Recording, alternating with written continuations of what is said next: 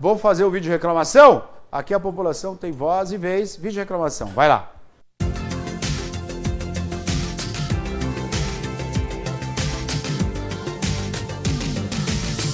Pois não. Neto, gostaria de pedir uma ajuda para você relacionado a esse bueiro localizado aqui na Rua das Tarumãs, Bosques do Lenheiro. É, hoje está completando oito dias que eu fiz 156 para a prefeitura para pedir a limpeza desse bueiro.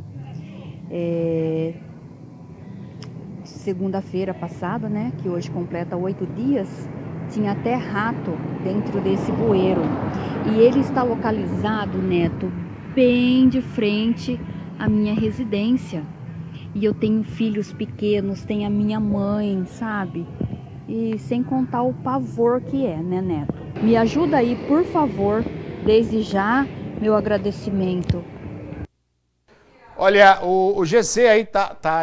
Pode vir para mim, Tiago, por favor. O GC Terraro está falando de uma outra reclamação, que é falta de iluminação, mas a moradora explicou, explicou muito bem, ela está falando ali sobre a reclamação é, é, do bueiro que está sujo. E a preocupação dela é válida, né? Porque é, nessa época do ano, é época de seca, que a limpeza que tem que ser feita justamente para quando chegar a chuva, a água seguir o rumo, né? Então é válida a reclamação da moradora, muita sujeira, e boa parte dessa sujeira é lixo, né? que o pessoal joga na rua. Você entende por que, que você não pode jogar papelzinho na rua, cidadão? Está entendendo? Alô, cidadão? Sabe por que bituca de cigarro, copinho plástico, papelzinho não se joga na rua? Porque vai parar no bueiro. Quando vai em frente, vai parar no rio, que é pior ainda. E no bueiro entope tudo. Não jogue lixo na rua. Olha como é que está o bueiro, gente. Olha como é que está a situação. É no, é no bosque, né? Lá no bosque